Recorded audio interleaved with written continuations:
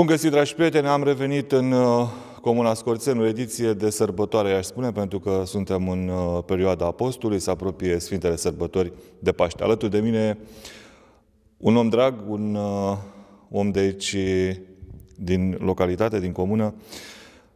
Titulatura de om este cu adevărat, Părintele Furtună. Părinte, bine v-am regăsit! Bine ați revenit în satul nostru, la biserica noastră și în comunitatea noastră. Ce mai faceți? Mulțumim lui Dumnezeu, acum activitatea noastră este mult mai intensă în perioada postului mare, pentru că întreaga comunitate este prezentă pentru evenimentul pe care îl așteaptă întreaga creștinătate și anume învierea Domnului. Înainte de a ne spune uh, câte ceva despre semnificația postului, despre Sfintele Sărbători de Paște, vreau să ne spuneți cum uh, întâmplați dumneavoastră, ce pregătiri face. Știu că aveți multe surprize pentru enoriași. E adevărat, în urmă cu 40 de ani, când am venit în parohia aceasta, am găsit o tradiție deosebit de bogată. Și n-am voit ca să diminuiesc cu nimic, din contră, așa, zicem cu smerenie, că am încercat ca să amplificăm puțin și să dăm uh, evenimentului uh, acesta al învierii Domnului uh, și un eveniment social așa în care să se manifeste și de asemenea să uh, se apropie întreaga comunitate. Și pregătirile, de ce să nu recunoaștem, au început uh, chiar înainte de, de a ne pregăti de postul mare, pentru că așa cărțile noastre bisericești cu trei săptămâni, sau am putea spune cu patru săptămâni, așa uh, prezintă creștinilor perioada aceasta deosebită, cu atâta încărcătură așa morală și de asemenea de pregătire spirituală în așteptarea evenimentului uh, învierii. Știu că dumneavoastră, nu știu dacă e bine să spunem, e, spunem din casă acum cu ghilimele de rigoare. Știu că faceți Paștele aici, cozonaci la fel, aveți cuptor, vă ocupați uh, îndeaproape de tot ceea ce se întâmplă. Anul acesta a fost nevoie ca să refacem cuptorul în care noi pregătim uh, Paștele și, de asemenea, pâinea și uh, cozonacul. Pentru că în fiecare an am procedat așa, comunitatea participă, fiecare își aduce darul său și cel sărac întreabă, părinte, eu ce pot să aduc? Și atunci fiecare se oferă cu ce are pe acasă, nu neapărat bani, cu făină, așa, ulei, zahăr, nucă pentru cozonaci și, bineînțeles, ouăle roșii, care vin în număr deosebit de mare, pentru că nu numai pentru comunitatea noastră. Se fac pachete, ci chiar și pentru săracii din jur și de câțiva ani noi ducem și la Uh, Spitalul Voila, la casa sanatorială acolo, unde sunt o seamă de copii și ei primesc în fiecare an cel puțin 100 de pachete. Ce ne puteți spune despre post, despre postul uh, Paștelui? Vedeți, omul întotdeauna și-a căutat sensul vieții. Și am putea spune că în istoria omenirii sunt deosebite sisteme și religioase și am putea spune ideologii care au căutat într-adevăr să-l îndrume pe om pe un sens. Așa și orizontul, orizonturi multe au fost, dar cu epocile fiecare orizont și-a schimbat direcția. Singurul sens l-a dat Dumnezeu, care a primit într-adevăr acest mesaj de la Tatăl, Fiul lui Dumnezeu, ca să dea sens vieții omului. Și prin întruparea sa, primul gest pe care l-a făcut când a ieșit, într-adevăr, după botez, a fost postul. Ce înseamnă post? Foarte mulți oameni socotesc că biserica impune niște restricții sau niște reguli. Postul este un act de, de disciplină, de, am putea spune, de gimnastică de gimnastică atât a trupului cât și a sufletului. Pentru că pierdându-și sensul vieții și al existenței sale, omul a căutat să se bucure numai de lucrurile materiale, care și ele sunt bune. Mântuitorul Hristos nu le-a eliminat, dar a, s-a cercetat pe sine și a, s-a dat model pe sine ca să poți să te bucuri de ele în mod cumpătat, atunci trebuie să faci acest exercițiu foarte important pentru a da sens vieții tale. Și biserica, vedeți că pregătește în această perioadă și pe vârstnici, și pe maturi, și pe tineri, chiar pe copii. Fiecare trebuie să participe cu felul lui de postire. Și mai ales acum, de ce să nu recunoaștem când uh, noi, uh, ortodoxii, sau am putea spune partea aceasta a răsăritului, uh, ne confruntăm cu așa zisa libertate, care pe de o parte este exagerată și în, să zicem, în implementarea aceasta care se creează, se lovește oarecum de puteam spune, de relația cu uh, cultura religioasă, cu biserica. Cu toate că nu este așa. Pentru că um, și cu toții recunoaștem că tradițiile noastre ortodoxe și de asemenea uh, educația familiei, educația religioasă a dat rezultate de 2000 de ani. Și n-am vrea ca să le pierdem acum. Să nu credeți că biserica le impune familiei sau societății. Ele au fost uh, uh, dorite de familie și uh, omenirea și creștinii le-au primit cu drag. Pentru că ele n-au fost de la oamenii bisericii dăruite, ci de la Dumnezeu. Și Mântuitorul Hristos acest lucru vrea să-l recunoască omul că El le-a dat din dragoste. Și omul trebuie să le primească cu bucurie, așa cum dorește un părinte copilului. Și bucuria este împreună și a părintelui ca și a copilului, pentru că singurul dialog este dragoste, iubire.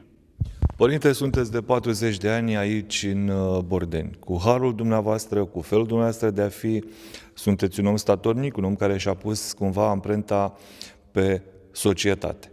Ați clădit biserica asta din temelii, vă ocupați de aproape de tot ce înseamnă hrană spirituală a oamenilor. Relația după atâția ani de experiență, de viață, de experiență aici ca și preot, relația oamenilor cu biserica, cum este?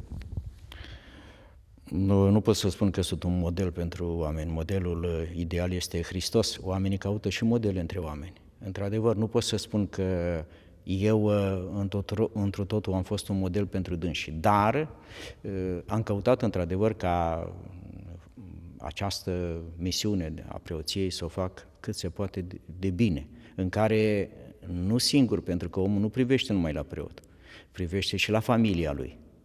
Și oarecum o spun cu, nu cu oarecare bucurie, așa, cu toate că ar trebui să fie, că eu mi-am implicat familia în uh, slujirea bisericii și a comunității pentru că întreaga familie uh, participă la toate evenimentele uh, religioase și uh, acest lucru i-a determinat pe oameni ca să fie și ei prezenți.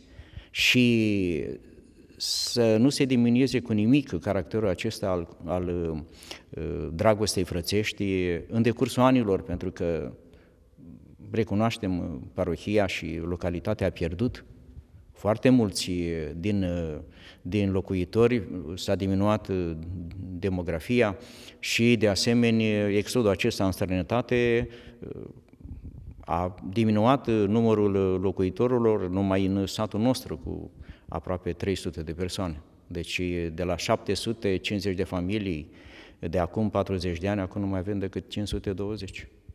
Și acest lucru îl spun în măsura în care ei totuși au rămas statornici alături de biserică și așa cum spun foarte mulți creștini care fac Paștere acolo, în uh, Occident, spun, uh, părinte, în serenătate Paștele durează o zi și nici o zi. Dar uh, nu, a, nu acest lucru este necazul meu. Necazul meu e că nu simt că e Paștele. Deci noi în, în țară, noi ne pregătim de la începutul postului și îl trăim și după aceea încă o săptămână, două cu toții cei dragi și aceasta e durerea mea și cu lacrimi în ochi mărturisesc. Și tocmai perioada aceasta de post nu pot să vin. Ei pot să vin și atunci ei se bucură foarte mult că pot să vină în perioada lunii august, când sunt concedii în Occident și atunci participă cu toată inima la cea de-a doua sărbătoare, după Paște, pentru noi uh, locuitorii din Bărdeș, și anume sărbătoarea Hramului, adormirea Maicii Domnului. Și au această posibilitate ca să-și reîmprospăteze așa toate noțiunile și, într-adevăr, toate tradițiile pe care ei le-au moștenit de la părinților. Stau și mă gândesc că în decursul atâtor ani ați prins și perioada aceea uh, pentru unii ingrată, pentru unii uh, semnificativă, vorbim de perioada de până în 1990, perioada uh, guvernului comunist. Și după aceea, evoluția sau, mă rog, tot ce a urmat după anul 90, până în zilele noastre. Într-adevăr, a fost o perioadă deosebit de grea, dar aș putea spune că, pe de o parte, a avut și efectele bune. Am avea creștini care în noaptea, în noaptea uh, nașterii Domnului, deci de Crăciun, când plecau la schimbul 3, trebuia să fiu prezent în biserică la ora 10, că ei plecau schimbul 3 și îmi spuneau, părinte, nu plecați ca să pot să sărut și o icoana nașterii. Și după aceea plecau la servici cu o bucurie deosebită. Acum am putea spune că nu mai este acea râvnă și dragoste, pentru că dacă era atunci așa situația aceea de constrângere, totuși oamenii erau uniți. Ei se iubeau între ei, iubeau biserica, căutau într-adevăr să, să se ajute. Acum oamenii au atâtea posibilități de a fi cât mai liberi și într-adevăr sunt o, o groază de posibilități ca să fie într-adevăr în legătură unii cu alții și totuși oamenii sunt din ce în ce mai singulari. Exact asta vreau să spun. Atât de multă libertate și uh, la polul opus atât de multă izolare, atât de multă singurătate. Tocmai acest lucru mă, mă se pute, pot spune că mă deranjează. Oamenii sunt triști în ziua de astăzi, așa, nemulțumiți, da, da, nemulțumiți și uh, eu uh, și la slujbele de duminică, tineri, am și un grup de studenți care participă activ și copii, așa, și în fașă noi împărtășim cel puțin 10-15 prunci în fiecare duminică. Și uh, oarecum suntem asaltați de gânguritul lor, dar uh, eu totdeauna, uh, să zic așa, ca un reproș și le spun bătrânilor care se consideră deranjați. Nu deranjează copilul, deranjează numai murmurul celor vârstnici. Și acest lucru, aș putea spune că la sfârșitul slujbei, predica o țin foarte optimist.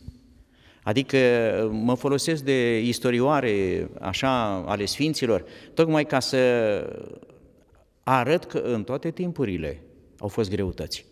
Și atunci, acum, momentul acesta este cel mai important pentru noi ca să putem să-l depășim numai uniți.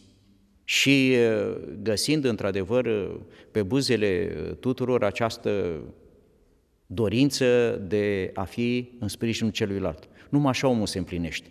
Când poate să dăruiască ceva bun aproapelui său, fie din dorința, într-adevăr, de a se împlini pe sine și din dorința de a-l ajuta pe celălalt, pentru că uh, trebuie să fie conștient fiecare și celălalt de lângă el, chiar dacă are o posibilitate materială, să zic, mai mare, mai superioară, superioară totuși el, și el are nevoie. Am un caz așa în perioada când sunt moșii de vară sau uh, perioada aceasta de pomeni în grup, unde se fac uh, parastase în grup, uh, un, o creștină care era mai așa cu posibilități financiare deosebite și mi-a reproșat într-o zi, părinte, zice, la toți oamenii s-a dus cu mâncare, la mine n-a venit nimeni. Cu toate că avea de toate dar uh, simțea această dorință ca să, să o viziteze cineva și pe dânsa cu o farfurie, cum se procedează la noi, cu o farfurie de uh, supă de pasăre, de tăiței sau cu un pilaf uh, de asemenea, cu o mâncare caldă. Dorea lucrul acesta, cu toate că nu avea nevoie de nimic. Și atunci mi-am dat seama și am și amplificat lucrul acesta și l-am spus, să dărui și celor care au. Pentru că nu este nevoia de de mâncare, ci este nevoia de comuniune. Ca să completez ceea ce spuneți dumneavoastră legat de dorința de a oferi celor care nu au și ca să punctez ce am spus mai devreme legat de uh, Părintele Furtună cel statornic, care își pune amprenta pe societate. Din dorința de a oferi celor ce nu au posibilități, a spus bazele unui așezământ, să-i spunem un cămin de bătrân pe înțelesul tuturor. Da, gândul a fost de mult, să zic așa, inițiativa a fost celui care a trecut în domnul a prefericitului patriarh Teoctist, care vizitând parohia în mai multe situații și când s-a târnosit paraclisul nostru, acesta Sfântul Silvestru, mi-a adresat o dojană și mi-a zis, Părinte Furtună, zice, n-ai tineri în biserică. Și într-adevăr, aceasta era o și erau anii după Revoluție, anii 98, și atunci am creat un grup de inițiativă ca să fie cât mai lucrativ în, în parohie. Și așa am început, am putea spune de 10 ani. Acum 10 ani am cumpărat terenul acesta, pe care am construit acest cămin și suntem acum, să zic așa, în faza de 80%, pentru că fondurile sunt numai locale, ale oamenilor, ale locuitorilor, câțiva sponsori, oameni de suflet și, într-adevăr, și cu posibilități primăriei, dar care sunt mai puține, care se împart, într-adevăr, și la cei nevoiași și la această lucrare, zicem noi, de suflet, în care noi vrem să creăm o atmosferă aceasta este dorința mea. Nu știu dacă o să o realizez, adică să, de, să ajung la, la stadiul acesta de împlinire, dar uh, bătrânii care vor locui acolo, ei nu vor fi singuri. Adică, uh, uh, deja am pus bazele voluntariatului, foarte mulți oameni lucrează voluntar la acest așezământ, dar doresc ca familia și întreaga comunitate să viziteze pe acești bătrâni zilnic, iar cel puțin copiii să vină o dată la două zile și să-și mângâie părinții, să le vorbească, să le aducă un dar, eu spun așa, în mod acesta simbolic, să aducă o Eugenie și să întrebe ce mai faci mamă, te simți bine? Și să-i spună cum este acasă, o grada lui sau a bătrânului sau bătrânii, toate sunt puse la punct, stai liniștită că dacă am posibilitatea te mai iau și să mai vezi lucrurile. Numai el, copil, fată, băiat, să știe că bătrânul, tatăl, mama, bunicul, e în siguranță acolo, pentru că fiind o localitate care nu are gaze, să nu se gândească că nu poate să bage lemne în foc, așa cade jarul pe jos și acolo este în siguranță. Când estimați că vom avea posibilitatea să venim și să vizităm, să fim părtași la astfel de întâlniri, părinți, copii? Noi uh, sperăm că sfârșitul anului viitor, adică anul 2017, să-l finalizăm, pentru că, așa să zic, greul a trecut, dar totuși mai este dotarea bucătăriei, a spălătoriei și, de asemenea, toate noile cerințe care sunt acum din partea Uh, ISU din partea pompierului și trebuie să le punem într-adevăr la punct și noi uh, într-adevăr uh, studiem împreună cu dânsii, vor veni și duminică aici la biserică ca să vadă într-adevăr stadiul în care suntem și să le cer ultimele detalii, într-adevăr că atunci când cerem autorizațiile de funcționare să putem să fim în regulă cu totul. Deja ea, construcția este făcută după norme europene, adică fiecare cameră are numai două paturi, și vederea fiecăruia este spre exterior, adică spre geam. Plus cu tot ce înseamnă toaletă în camere, adică spunem că ei vor locui aici mai bine decât acasă. Condițiile în așezământ vor fi mai bune decât cele de acasă. În câteva cuvinte, Comuna Scorțeni văzută prin ochii Părintelui Furtună pot să spun, comuna, într-adevăr, nu și-a schimbat nici tradițiile, nici obiceiurile. Singura amărăciune este că nu sunt locuri de muncă. A fost o zonă industrializată.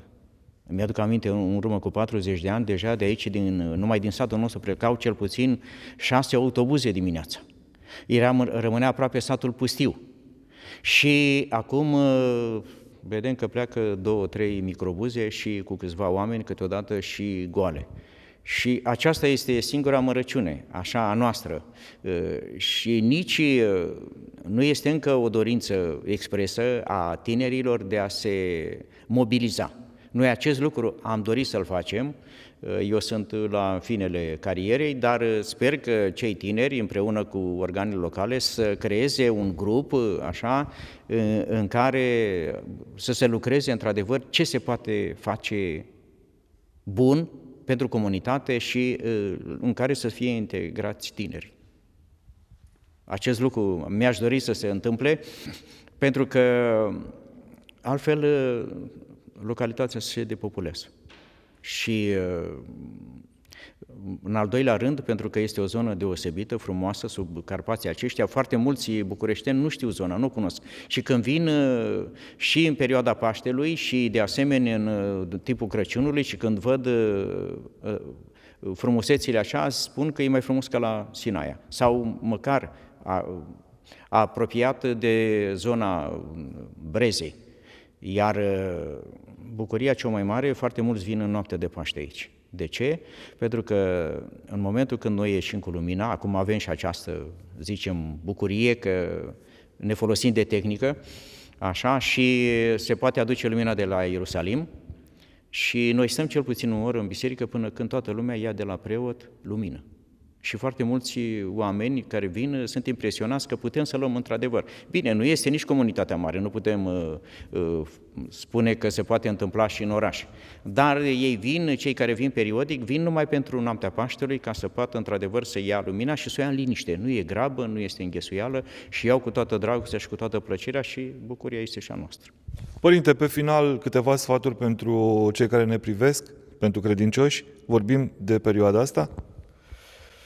Sfaturi, adică noi zicem mai mult îndemnuri, pentru că să zic că omul este cam așa supra-saturată de sfaturi.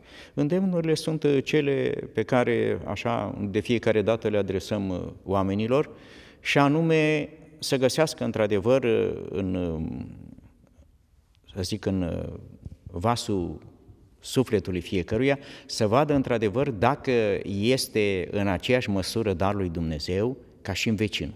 Sau dacă se poate să vadă mai mult în uh, semenul său decât în sine. A el să-l completeze, nu să-l uh, diminueze pe aceluilalt. Și mm, știm cu toții că cea mai, uh, cel mai bun îndemn este acela pe care l-a adresat Mântuitorul Hristos în toate, din toate timpurile și pe care noi îl spunem cu atâta uh, foc, și anume, bucurați-vă în continuu. Și acest lucru este mesajul pe care și noi trebuie să ne bucurați-vă pentru că suntem noi, noi uh, creștinii și eu mă adresez celor uh, din uh, jurul meu, celor din localitate, că Dumnezeu este prezent. Este prezent și trăiește alături de noi. Și acest lucru, spun, cred că este cel mai îmbucurător pentru că Dumnezeu vine la masa noastră aici în biserică și fiecare pleacă acasă cu Dumnezeu acasă și Dumnezeu vine ca să ia prânzul și cu ei, și cu cel bogat, și cu cel sărac, și cu cel umil, și cu cel, să zicem, dotat. Și se împarte tuturor. Aceasta este cea mai mare bucurie, pentru că l avem pe Dumnezeu cu noi, în casa noastră.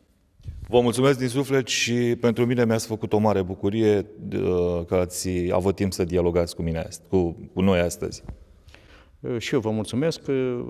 Eu zic că nu sunt omul cel mai în măsură ca să spun lucruri așa pe care dumneavoastră le cunoașteți și, într-adevăr, și toți celor cărora vă adresați. Și și cunosc foarte mult. Numai acest lucru este plăcut, într-adevăr, când oamenii se regăsesc în lucrarea aceasta față de semenii lor cu cuvântul acesta frumos pe care să-l spună foarte uh, cald. Uh, Doamne, fi cu noi în toate timpurile vieții noastre. Și vă mulțumesc pentru această, acest gest pe care l-ați făcut și doresc tuturor creștinilor ca să aibă sărbători cu sănătate, cu liniște și cu pace.